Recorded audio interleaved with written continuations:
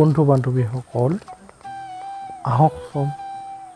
আমি প্ৰকৃতিৰ এই ৰমৰমীয়া পৰিৱেশৰ মাজত এটা বিশেষ কথা জানিবলৈ আগবাঢ়োঁ। আমি সকলোৱে ক'ৰবাত নহয় ক'ৰবাত কিবা নহয় কিবা চিন্তা কৰি থাকোঁ। ভগৱানক আৰাধনা কৰোঁ আৰু ভগৱানক আৰাধনা কৰি আমি কি পাওঁ?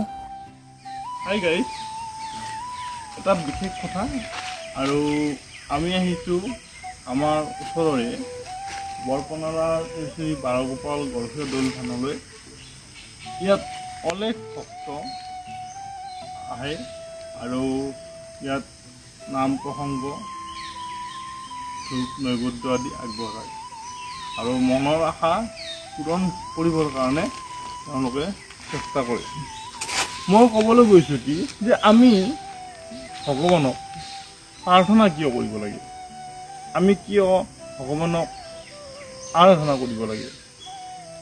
আমাৰ দেহটো আমাৰ যিটো বডি আমাৰ দেহটোক যেনে আহাৰৰ প্ৰয়োজন আমি সুস্থ সবল হৈ জীয়াই থাকিবৰ কাৰণে আমাক সুস্থ বতাহ সুস্থ বায়ু আৰু সুস্থ মানে পৰিপুষ্টিযুক্ত আহাৰ আমাক দৰকাৰ।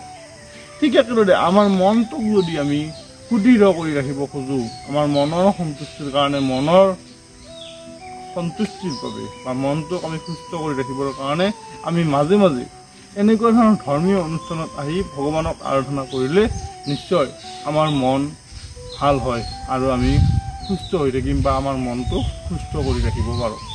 গতিকে বৈজ্ঞানিক দৃষ্টিকোণৰ পৰা চালে আমি ভাবিম যে ভগৱানক আৰাধনা কৰা আমাৰ একমাত্ৰ এটাই উদ্দেশ্য নহয় যে মনৰ আশা পূৰণ হ'ল।